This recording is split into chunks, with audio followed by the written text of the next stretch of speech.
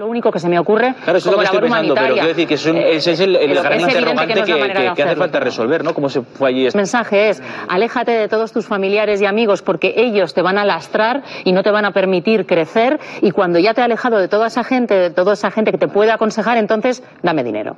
Con, con lo que Es- cuesta es- hacer flexiones, lo que más me ha sorprendido es verla, que este no es el debate para hablar ahora sobre si existe o no la violencia de género y si necesita una protección especial. Yo creo que sí, pero también creo que no hay más eh, misoginia que la de los partidos políticos que respaldan esta ley trans. Esta ley trans desprotege a las mujeres, falsea eh, las estadísticas y pone en peligro a mujeres y niñas y se ha avisado, se ha dicho, ser mujer no es un sentimiento, no se puede legislar los sentimientos, no se puede legislar en ese sentido. Se está viendo día tras día casos que nos demuestran que esta ley es un fraude, que hay que echarlo para atrás y nadie está haciendo nada. Yo, eh, yo desde luego he dicho muchas veces. es que el gobierno ya reformar esta ley. Un uso la ley, porque no es mal es de la ley